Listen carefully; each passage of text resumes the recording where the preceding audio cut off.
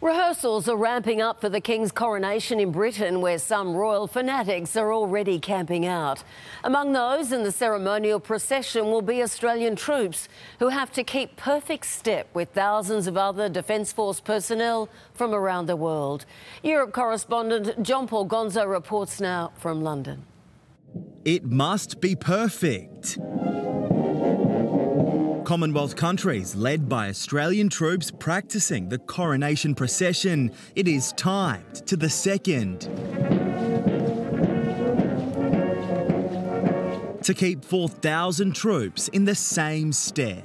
I've never heard of it done before, so this could most likely be a first. From a Royal Air Force base in southeast England to the Mall, these ADF personnel will soon have the eyes of the world watching their every move. It is such a momentous and prestigious occasion, but we're very, very conscious of the fact that it is actually about representing everyone back in Australia.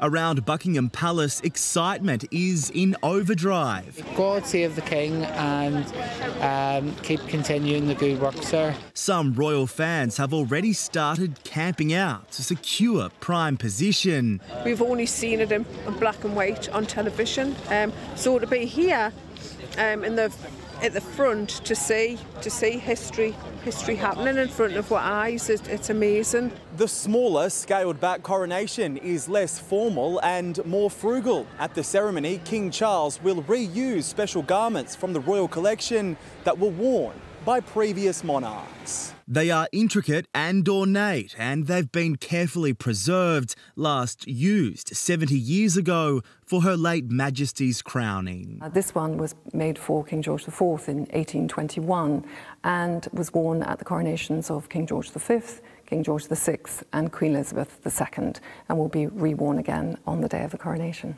The royal robes date back to medieval times. Tradition dictates they're still worn by the modern monarch. John Paul Gonzo for 10 News First, London.